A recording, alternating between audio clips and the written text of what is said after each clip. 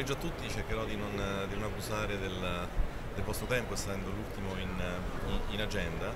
E vado a parlarvi di, eh, di questo, questo, progetto che ha avuto una fase di incubazione eh, abbastanza lunga eh, anche perché come farò vedere tra poco il finanziamento accordato sulla linea del 4% era condizionato anche all'attivazione di, di, un accordo per l'innovazione industriale, quindi all'avvio di un progetto di innovazione industriale in partnership con aziende che vedesse coinvolti degli, degli attori operanti sul territorio. E quindi l'argomento è quello dei trasporti intelligenti, eh, qui abbiamo un po' abbiamo richiamato una delle azioni eh, importanti della Comunità Europea che va sotto la, la, la DG delle Smart Green and Integrated Transport nel programma Horizon 2020 e che eh, prende atto della crescita della, eh, del volume degli scambi, dei movimenti, della crescita della complessità dei costi e anche ovviamente dei consumi. Eh, per cui eh, esiste un'agenda un che è articolata su diversi obiettivi ma che fondamentalmente mira a ridurre mh, eh, consumi, consumi ed emissioni eh, mira a, a, a, ridurre il tasso di incidenti che sono legati a tutta la, la, la mobilità, sia in ambito veicolare che in ambito, in ambito ferroviario e poi tende a introdurre un grado crescente di automazione che se da un lato vero, eh, contribuisce sulla, sulla, seconda linea, dall'altro dobbiamo pensare che abilita l'accesso alla, alla, mobilità personale anche a, chi non è in grado di, di, di guidare una, un veicolo. E tutto questo eh, sta evolvendo eh, da un lato verso la, la, la, guida autonoma, pensando che il veicolo sia in grado di vedere, sia in grado di fare sensi in locale, ma dall'altro alla necessità di, di, di, connettere, di, connettere, i veicoli, perché eh, è ovvio che per un grado crescente di, di automazione nella guida non ci si potrà basare soltanto su ciò che eh, il veicolo percepisce di vicinanza, ma ci sarà bisogno di vedere un pochino oltre e quindi di utilizzare in modo pervasivo il mezzo radio. E allora ecco qui che veniamo all'agenda di un'associazione industriale che è la 5G Automotive Association, quindi quando si parla di 5G ormai esiste un consorzio che unisce eh, per la prima volta in modo strutturato le manifatturiere delle telecomunicazioni eh, con le manifatturiere del mondo automotive. E tutto questo è venuto dopo che noi abbiamo iniziato a parlare del, del progetto Emerge, quindi eh, diciamo, abbiamo iniziato a lavorarci tre anni e mezzo fa chiaramente sulla base di, di competenze di attività che erano già in corso, ma in realtà eh, l'attivazione è avvenuta solo, solo, un anno fa e questi sono le, le, gli obiettivi richiamati da, da questa da questa associazione industriale eh, che sta cercando appunto di affrontare in modo strutturato così come, eh, il problema, così come anche declinato a livello europeo. Ora se parliamo di, eh, di, di automazione, ecco, senza entrare nei dettagli, andiamo su una, una tabella che una società eh, diciamo, riconosciuta a livello internazionale ha, ha declinato e passando dalla parte, alla, dalla parte, alta alla parte bassa possiamo sensibilmente eh, in, diciamo, qualificare il ruolo, il ruolo, della connettività. Nella parte alta della tabella ci sono delle feature di automazione che più o meno oggi sono, sono presenti su veicoli di fascia medio-alta, a volte singolarmente, a volte in modo combinato, ma quando si parla di conditional automation eh, si dà la responsabilità al veicolo di guardare i dintorni, che significa che bisogna guardare anche oltre la curva, o, oltre, oltre l'edificio. Ed è su questo tema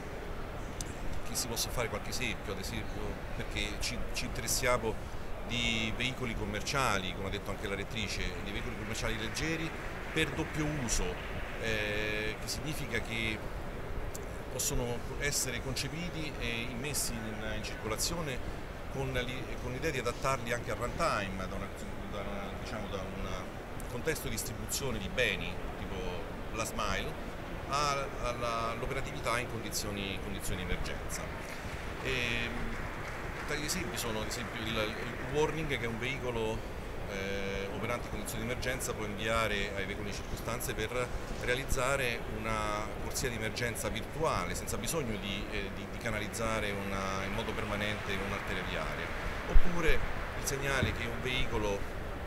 in, in frenata brusca può inviare nelle immediate vicinanze per allertare chi lo segue che magari in condizioni di mancata visibilità ottica ci sia qualcuno che, che vada a tamponarlo. Ecco, sono tutti esempi in cui la eh, connettività radio fornisce eh, il supporto per un approccio cooperativo alla sicurezza strada. Ora noi siamo partiti in questo contesto perché c'erano anche delle tecnologie esistenti, quindi una tecnologia esistente per connettere i veicoli è una variante della Wi-Fi che eh, di cui oggi ci serviamo normalmente per accedere a internet stando in ambiente domestico di lavoro. C'era un'evoluzione in corso sui sistemi cellulari, parliamo di 4G, LTE, per eh, abilitare le connessioni da veicolo a veicolo, ma mentre noi ragionavamo sulla, sullo sviluppo del nostro primo progetto è venuto fuori il tema del 5G in modo prorompente e il, le applicazioni della mobilità costituiscono oggi di sicuro il uh, dominio verticale di maggiore interesse per, uh, proprio per, per, lo sviluppo della tecnologia 5G. Eh, riprendo qui la, il famoso triangolo di cui parlava anche il, il collega Grazioso precedentemente perché con la connettività veicolare noi ci collochiamo da questo lato. Quindi di cosa, di cosa abbiamo bisogno? Abbiamo bisogno di connessioni a bassissima latenza, in grado se necessario trasportare anche volumi significativi di dati e eh, per poter fornire eh, supporto di connettività a una popolazione di veicoli come quella che vediamo oggi circolare sulle strade abbiamo bisogno anche di capacità elevate, quindi se 5G da un lato ci abilita la connettività di tanti oggettini con la densità di un, di un milione al chilometro quadrato per eh, quanto riguarda l'internet delle cose, dobbiamo pensare che lo stesso debba accadere anche per la connettività dei veicoli. Quindi i veicoli dovranno essere in grado di connettersi l'un l'altro in condizioni di prossimità più o, meno, più o meno spinta dovranno essere in grado di connettersi con l'infrastruttura per fornire anche informazioni a chi gestisce un alternato stradale o un centro di, controllo che gestisce delle operazioni. Ecco, a questo punto eh, si innesta il progetto Emerge, come dicevo noi siamo partiti eh, in realtà nel, nel, nel 2018, anche se molti c'è attività, e spenderei due parole per uh, un minimo di, accountability, perché nella scheda di eh, che abbiamo presentato per eh, la concessione del finanziamento noi abbiamo mescolato i due assi, mi sembra si D ed E, quello che fa riferimento alla, allo sviluppo tecnologico, alla ricerca e quello che fa riferimento alla, all'alta formazione. E direi che anche avvalendoci del fatto che era partito un progetto in precedenza come Incipit, quindi in una logica di integrazione quantomeno a livello universitario, possiamo dire che dei risultati sono, ci, ci, sono, quindi sulla formazione abbiamo 5 studenti di dottorato attivi già su questa tematica, verranno reclutati, ci sono numerosi lavori di tesi e soprattutto c'è anche un lavoro di connessione con le, le scuole secondarie che farà sì che i temi di cui parliamo entreranno nei programmi di orientamento e di tutoraggio che connettono l'università alle scuole secondarie. Se parliamo di attrattività eh, possiamo dire che abbiamo riscontrato nell'ultimo anno accademico un significativo incremento delle iscrizioni nei corsi di laurea triennale che hanno a che fare con questo, con questo tipo di contesto, quindi parliamo di ingegneria di informazione, ingegneria industriale, di informatica e su questo noi eh, stiamo, stiamo insistendo anche per, per potenziare il, lo sviluppo dell'università. Abbiamo ovviamente invitato dei colleghi 2018, un altro ci raggiungerà tra poco, eh, come visiting professor. Eh, abbiamo in termini di attrattività anche ottenuto un finanziamento per reclutare un RTDA cosiddetto in, eh, in, in ingresso, quindi il vincolo è che eh, questo, questo, ricercatore che andremo ad assumere entro, entro quest'anno non, non, non, sia stato residente negli ultimi anni eh, in zona di, di, transizione, quindi in particolare in Abruzzo e stiamo cercando di, di, di attrarre a livello internazionale. Ecco, abbiamo tutti i corsi di studio eh, pertinenti con, uh, questo, questo, progetto che sono corsi di studi internazionali di lingua inglese con una forte mobilità di studenti nostri verso l'estero e anche una significativa capacità di attrazione di studenti stranieri verso il nostro territorio. E, ovviamente stiamo insistendo sul reclutamento ricercatori, abbiamo già quattro assegnisti di ricerca, altri che assumeremo, come dicevo stiamo procedendo anche ai reclutamenti di ricercatori a tempo determinato. Eh, abbiamo un significativo eh, set di collaborazioni eh, scientifiche e industriali. Quelle scientifiche sono direi un mandato dell'università, quelle industriali, come abbiamo visto in altri progetti, eh, sono, possono apparire meno scontate e costituiscono sicuramente in questo caso il risultato di un impegno profuso a sollecitare le aziende che erano presenti già sul territorio. Quindi di chi parliamo? Parliamo di eh, Telespazio eh, che ha nella,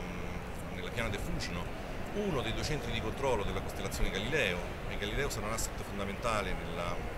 nello sviluppo delle tecnologie per il veicolo connesso. Abbiamo, abbiamo Leonardo, abbiamo altre piccole e medie aziende, abbiamo consorzi e abbiamo riscontrato nell'arco di un anno l'interesse dell'Agenzia Spaziale Italiana con cui abbiamo sottoscritto una convenzione, dell'Agenzia Spaziale Europea di cui hanno parlato già eh, i colleghi e anche dal GSA che è l'agenzia della, della, Commissione Europea che si occupa di, lo, di localizzazione che in fondo gestisce il programma Galileo.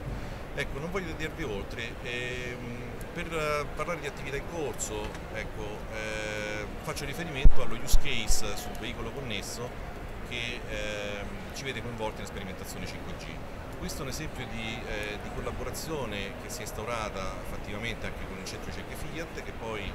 ha, attraverso diciamo, il gruppo FCA ha una presenza importante nell'assetto regionale perché l'Abruzzo è sede di un importante centro di, eh, di, produzione di veicoli commerciali leggeri che sono educato e su quelli ci stiamo, eh, ci stiamo concentrando. Tra una settimana saranno operativi all'Aquila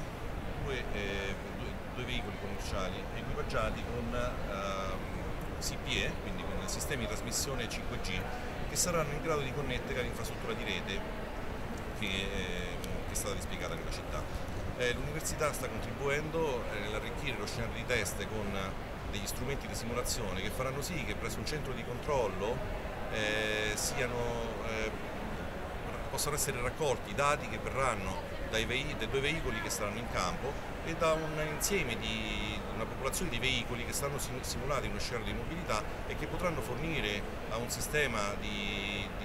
di, di controllo, diciamo, supervisione e di controllo automatico eh, gli elementi per elaborare, eh, per identificare delle eventuali situazioni critiche della viabilità e riadattare su base individuale la, uh, il piano di, eh, di mobilità all'interno dell'area interessata da un eventuale evento.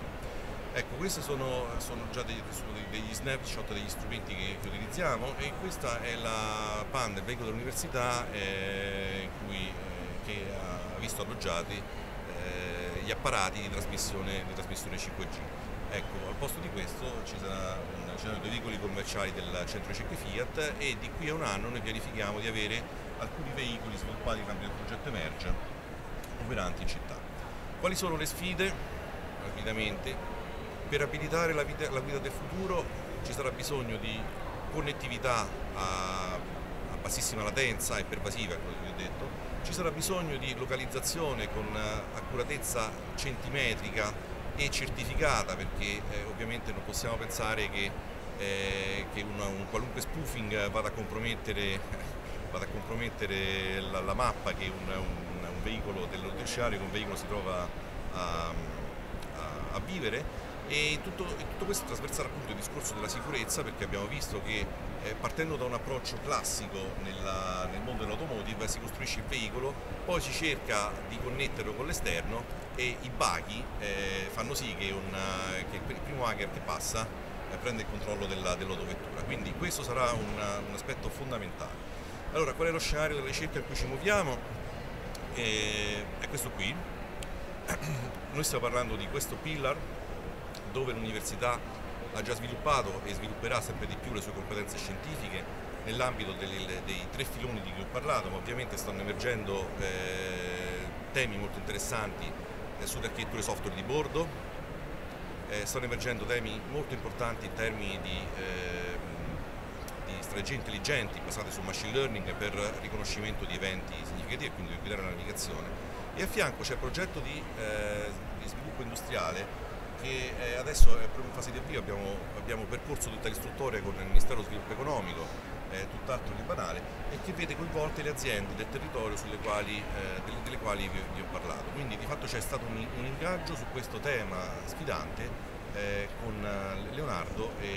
e, Telespazio. E a fianco c'è il progetto di, eh, di FCA, GVF,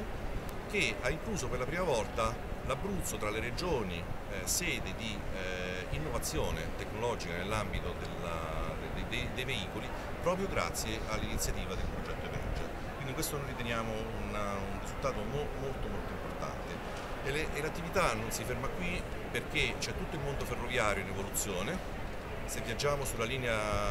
sulla linea di alta velocità la mobilità dei treni ormai è, regolata da un segnalamento che viaggia sul GSM ferroviario, tecnologia di telecomunicazioni di 30 anni fa, e eh, chiaramente questo non è più sufficiente per gestire la mobilità di un numero crescente di convogli e tutti gli operatori dell'ambito ferroviario stanno decidendo di andare su rete pubblica prendendo il 5G a riferimento. Shift to Rail è un'iniziativa europea nella quale noi siamo presenti attraverso Radio Lux. Per cui, per concludere, ecco, eh, noi non facciamo, diciamo, non, non sono, siamo economisti di, di, professione, però provando a inquadrare anche eh, sull'asse temporale le operazioni di cui ha parlato il collega, io dico che eh, guardando l'università ehm,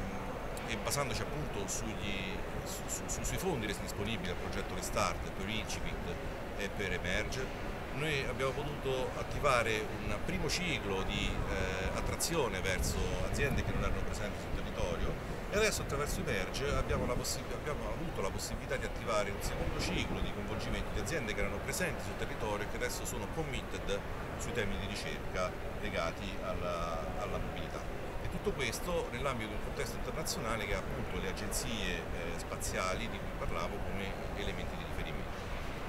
Eh, vi ringrazio per l'attenzione e sono disponibile anch'io per fornire ulteriori.